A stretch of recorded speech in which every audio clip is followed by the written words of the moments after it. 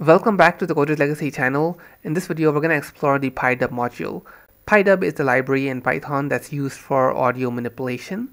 Basically, anything that comes to mind when you think of the words audio manipulation, PyDub can do it whether you want to increase the volume, decrease the volume, decrease or increase the volume of specific parts in the audio track, whether you want to trim it uh, or you may, maybe want to extract certain parts of it, you want to loop it or just loop certain segments, whether you want to overlay several audio tracks on top of each other, etc. There's so many other things that PyDub can do, set the frequency, etc., frame rate, all those kind of things we can all do with PyDub. Basically, you can create your own audio management software using this library, so long as you give it a good UI.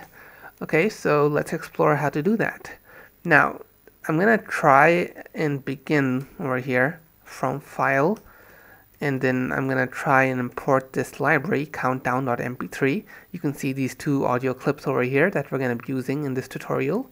Okay, and I'm going to do format is equal to mp3 these audio segments that you see here are basically the the backbone of this entire library everything is an audio segment basically and these audio segments have various methods that can be used to manipulate the audio. Now normally if anyone ran this this code would not work. This is because uh, it requires a library called FFmpeg. You may have heard of this, it's very famous, it's very commonly required when it comes to audio or video manipulation or reading or anything like that. The truth is that it's kind of complicated uh, reading and, you know, playing various audio and video tracks. They all have their own encodings.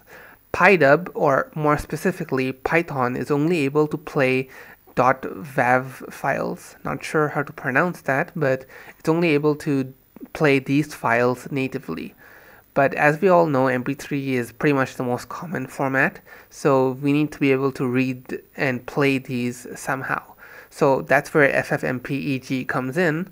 So what you're going to do to... Oh, okay, ignore that. So you're going to come over here and come to FFmpeg and then download and then whichever platform you are. I, am on Windows so you can just download that.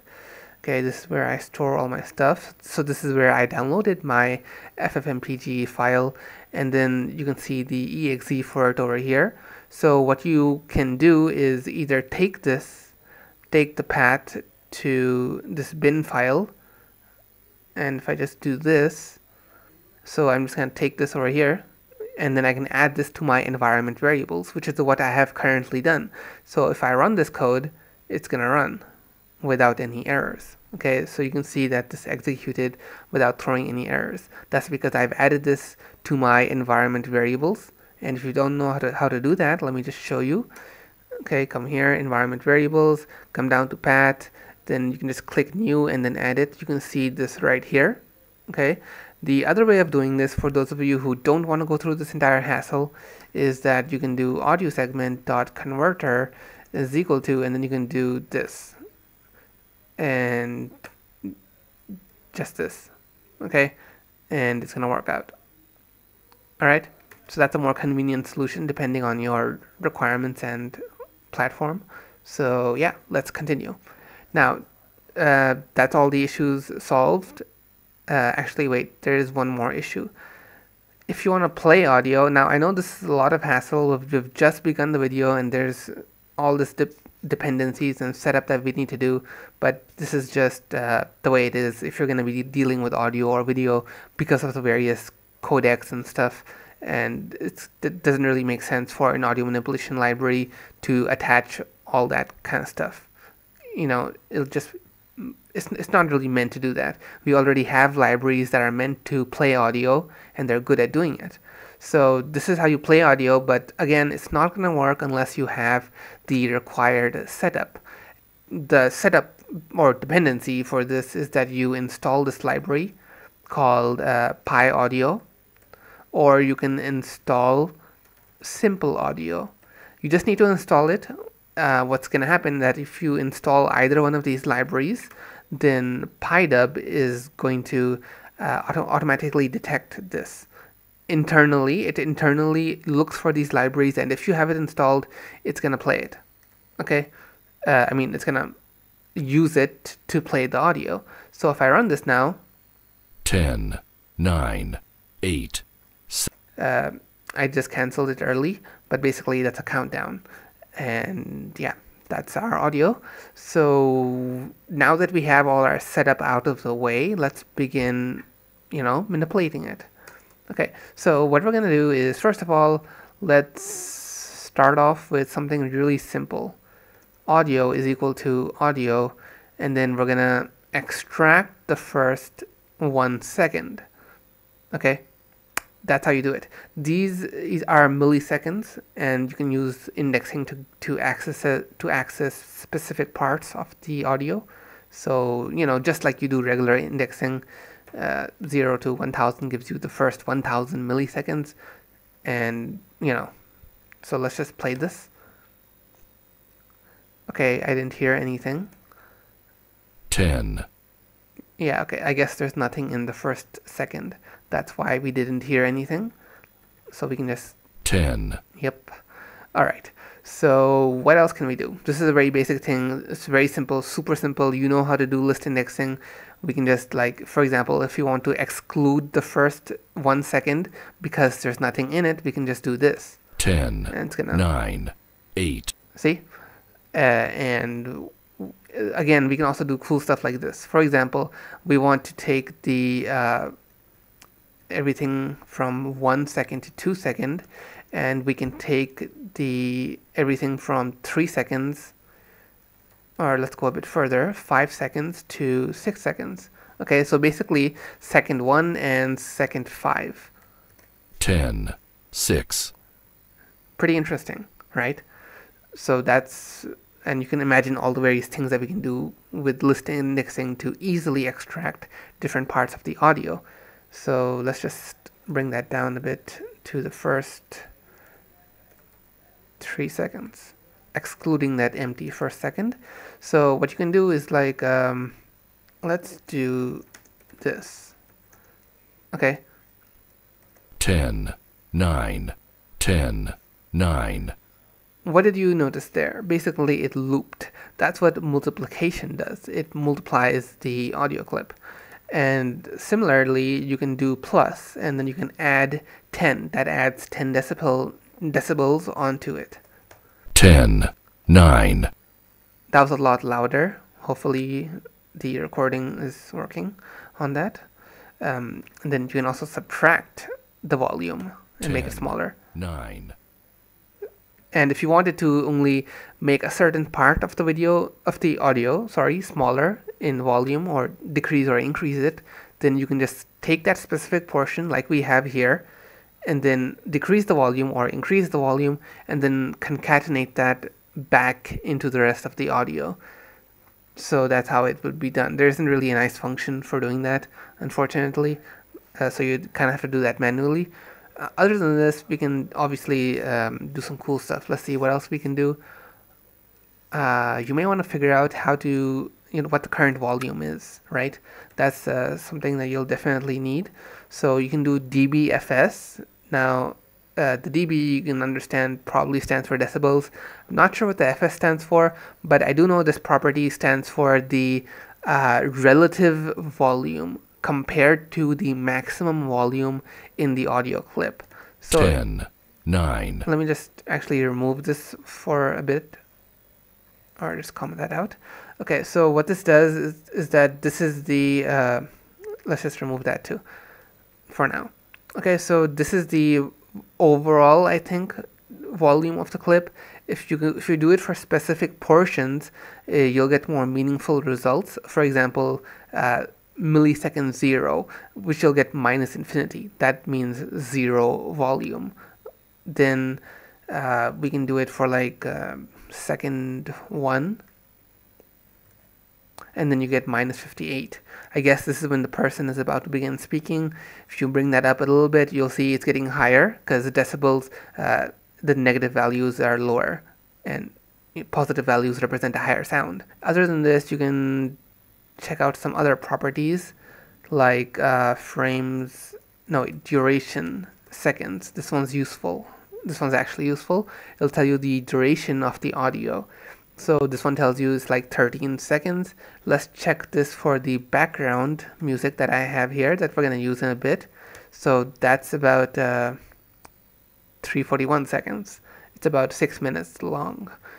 Alright, I'm gonna show you how to do some fade in effects. So we can do something like uh, audio dot fade in and 5000. Wait, whoops. Okay, so if I play this 10, 9, 8, 7, Okay, so did you notice that that the volume of the person speaking was gradually increasing? Uh, that's what the fade in thing does. It begins gradually, so that's a pretty cool effect. You can also do the fade out effect just by changing this from fade in to fade out. Uh, same thing, but it's going to be on the end of the audio clip instead. So one thing, if you haven't really noticed, let me just say it. This is all immutable. The audio segment class is immutable, any operation that you apply on it, it's going to return a new object. Okay, it's not going to modify that existing audio clip. It's going to make a new one. That's just something to remember. So don't try doing something like this and then expecting the first five seconds to uh, be a fade in effect. That's not going to happen. Okay, it needs to uh, return an object that gets stored somewhere and then you play it later. Okay. And now let's discuss the what I mentioned in the beginning of the video, audio overlaying. Again, something pretty common when you're making a stream or recording like I am right now. You may want to add in a, a background, background music. So what we're gonna what we're gonna do is first just duplicate that over here, change this to background, okay, and then just change that over there to background. Now I'm going to do, uh, let's just call this combined, okay, combined audio, combined audio. And over here, I'll do audio dot overlay. Now, the one that you want to overlay something on, like you're speaking, that's the primary source you want to overlay uh, background music, which is the secondary source. So the primary source is what you should be calling this method on. And the secondary source of audio is what should be in the parameters of the overlay function. Okay, now the rules for this are as follows. If the background clip is longer than the audio clip, this one, then the primary source is just going to be cut off. So the background, the we saw earlier that the background music was like six minutes long almost. So what hap- what's gonna happen is just it's just gonna be you know cut off at the 13 second mark. 13 seconds being the length of this uh, audio clip, the primary one. Okay, and likewise, if this audio clip was smaller, if the background music was smaller than the primary source, then it's gonna loop. Or actually, I don't think it's gonna loop. I think you need to make it loop by using the loop parameter.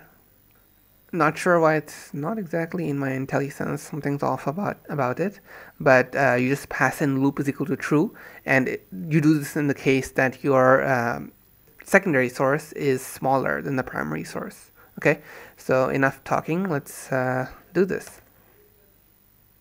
10, 9, 8.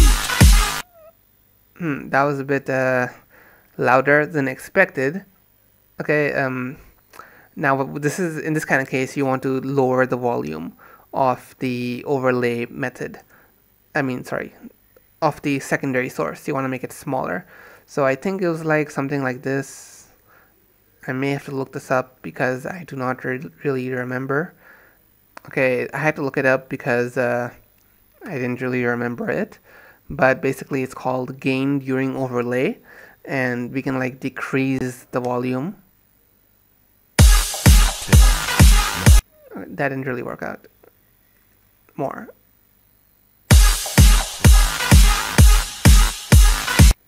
I think I've got this in reverse. There wasn't really much documentation on this. 10, 9, 8, ah. 7. Alright, we've got this one on. Alright, so um, I hope that didn't hurt your ears, but what you want to do here basically is uh, give it a give it a positive value in the case that the background music is too high. Uh, now that I think about it, we could have just uh, decreased the volume of the background like this, minus 20. 10, 9, 8.